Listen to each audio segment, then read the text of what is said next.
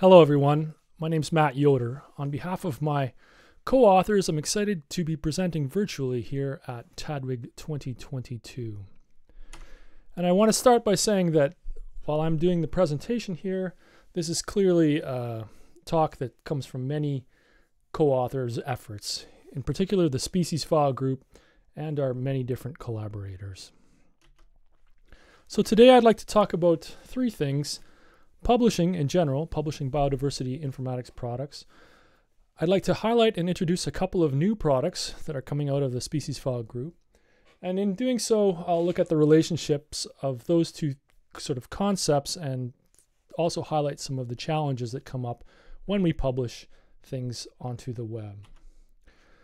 I'm going to use the definition of publish that is as follows. Uh, publish is to transform a product and move it to a new location such, that such that it is accessible in a new way.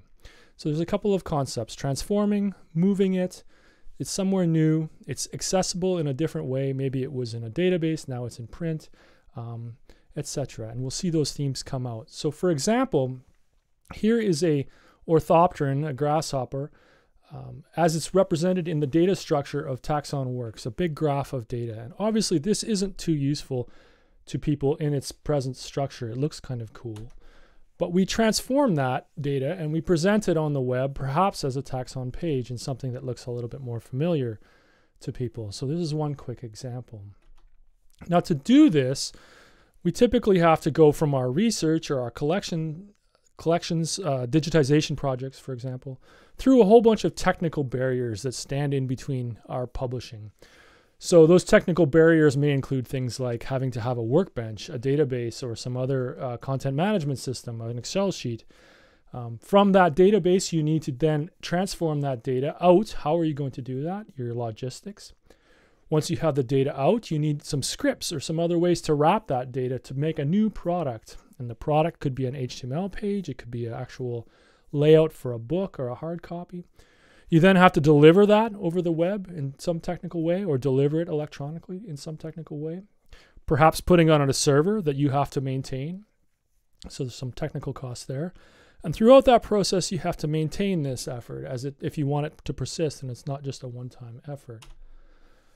So typically, we break those technical barriers by using things like, for example, the integrated publishing toolkit that comes from GBIF and their efforts. And in that case, we start to not have to manage things like logistics and publishing tools and products and delivery.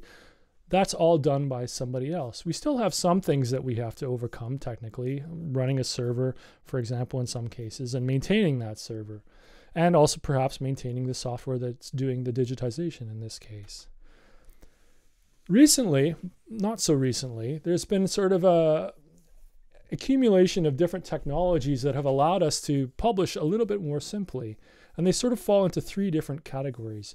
There's been new, increasingly sophisticated workbenches that handle a lot of different data and can manage that for you. And those workbenches are uh, aware of the logistics or have the logistics that can serve out the data into a sort of generalized format, for example, as in JSON.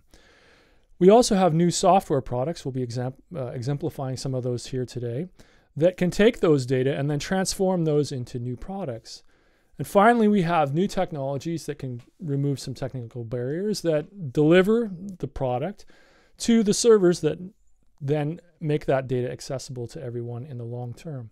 And so, really, we can remove a lot of the technical barriers or bridge those technical barriers and let us worry about a couple fewer things. And we'll show some examples of that here.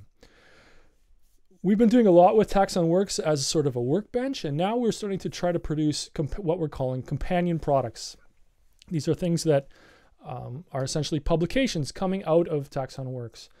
And these products that we'd like to illustrate today really can be published in four very simple steps here.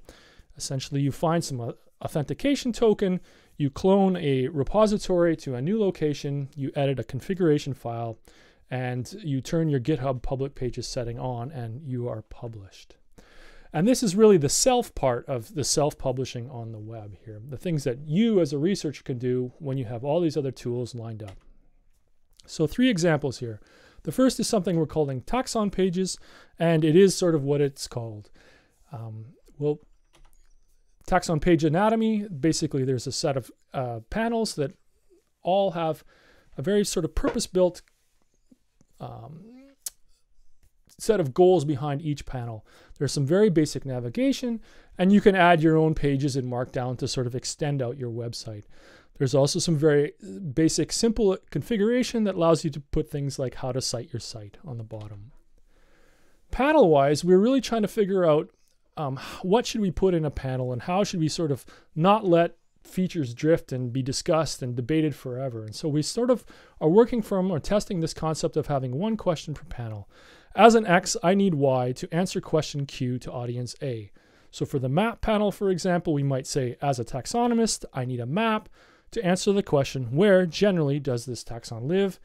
To the audience of anyone four or older. We don't try to answer any other um, question with the basic map. We also try to sort of simplify things down so that there's one endpoint serving the data to that panel. That means that you can also get the raw data behind any of these simple uh, panels to do your more advanced types of research. And that improves data accessibility. It simplifies the semantics of those sort of complicated graphs that are behind the scene. It allows us to build purpose-built interfaces, like we said. This is a panel to do that. And ultimately, we hope that TaxonPages can be used for um, to integrate with not workbenches, not only like TaxonWorks, but any um, content management system that serves a JSON result. So we can quickly link up a new panel from a new source of data. It might be uh, Wikidata, it might be GBIF, it might be your own content management system. To do this, we have increasingly complex data, as we noted, these big, huge graphs. There's a lot of effort that has to go into sort of summarizing these data. So in our image panel, for example, we have images that are linked to taxon concepts, specimens that fall into those concepts, observations of those specimens that are linked to images, etc. And we really have to crawl through all of the sort of the deep synonymy. And the TaxonPages project, with the example from TaxonWorks, does a really nice job of providing simple summaries for very complicated data. Our second product is Distinguish. It's a multi-entry key. It's deployed in exactly the same way we do TaxonPages. Um, you can take any TaxonWorks matrix and turn it into a multi-entry key, and it's essentially a one-page app. I don't have a time to talk about a lot of the features, but essentially you can code OTUs or specimens. There's many different trait types that you can code as uh, characters or as your columns. You can use M images everywhere. There's multilingual options available. You can provide customized taggable sets that can help the user sort of further refine their look into the data. And you can further refine the uh, contents or the endpoints to focus on a particular rank, for example, genus or species. The third product we have is a something we're working on. It's called a paper. We're calling it a paper catalog, and this is what you'll be familiar with as a very simple nomenclatural catalog that covers things like uh, the nomenclature, but also things like repositories, types, distributions, and references. And then we produce three different formats there. There's an HTML format, a simple one-page HTML document that can quite, quite long that you can serve, for example, on your own servers on a GitHub page very easily by putting up online.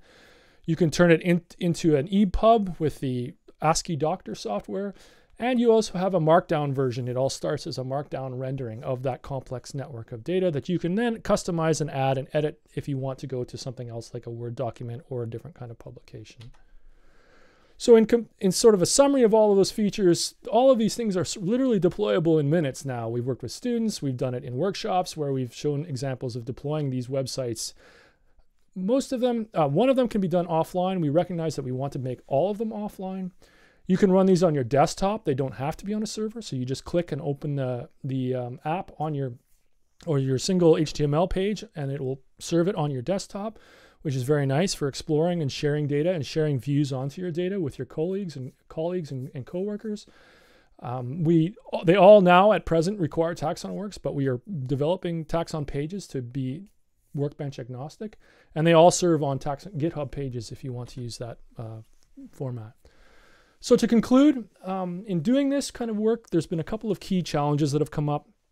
As I noted, as the semantics and our workbenches get more refined and, and better at sort of describing our data, summarizing those for human consumable products like a, a simplified taxon page become increasingly difficult. There's a lot of forking of what to show if this is here and this isn't there, for example. And that's a real challenge. In building the paper catalog, we noticed that people really want a, a, spreadsheet of the distribution data that comes out of that, that's summarized from all of the different data sources. So that could come from collections, that could come from checklists, that could come from published data, etc. And we struggle to find an integrated sort of consumer consumable standard that can represent all of that data in one place so that the user could kind of just take that catalog data and throw it into a single spreadsheet. So I think there needs to be some work on the standard side of things there. And um, finally, we'd love and we plan to work hard at making all these products available completely offline so that you do not need those requests back to the API. And that's another big challenge. And then with that one-to-one off uh, one-to-one representation offline, there's issues of latency. How often do you update your offline version? And then archiving. These are sort of familiar concepts to our group. But overall, we feel like it's a these couple of new products sort of address a nice little niche in this challenge of self-publishing on the web. Thanks for your attention. There's lots of links there. Of course, this is all open source projects that are all available right now on GitHub. And there's lots of opportunities for us, for you to join us and ask questions. We have weekly events. Uh, we have an increasingly large YouTube gallery of videos, a chat. You can follow announcements about TaxonWorks on Twitter, etc. Thanks again, and hopefully I have some time for questions.